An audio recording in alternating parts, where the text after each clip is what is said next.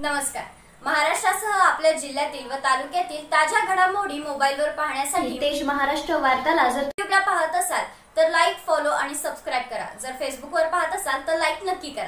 नागभीड वनपरिक्षेत्रातील जनकापूर परिसरातील गोसेखुर्द नहरात रानगवा पडल्याची घटना आज सकाळी उजेडात आल्याने वनविभाग व स्पाप संस्थांचे सदस्य घटनास्थळी दाखल झाले. दरम्यान रात्रीच हा रानगवा ओपन नहरात पडला असावा असा अंदाज वर्तविण्यात येत आहे. हा रानगवा अंदाजे बारा ते तेरा वर्षे वयाचा असल्याचे व एक हजार किलो वजनी असलेल्या या रानगव्याला नहराबाहेर काढण्याकरिता सकाळी नऊ वाजतापासून रेस्क्यू मोहीम राबविण्यात आली. यावेळी शासनाच्या सदस्यांनी लहरामध्ये दोरीच्या सहाय्याने उचलून वांग्याच्या डोक्यामध्ये शिंगामध्ये दोराचा फासा टाकून दोराचे सहाय्याने तीन तासानंतर सुखरूप बाहेर काढल्यानंतर अधिकाऱ्यांनी सुटकेचा श्वास घेतला.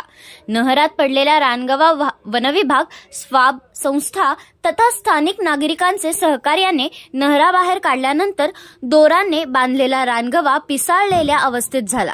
परिणामी उपस्थित नागरिकांची एकच धावपळ उडाली आणि या धावपळीत रानगवा हल्ला करेल म्हणून सैरावैरा नागरिक पळू लागले.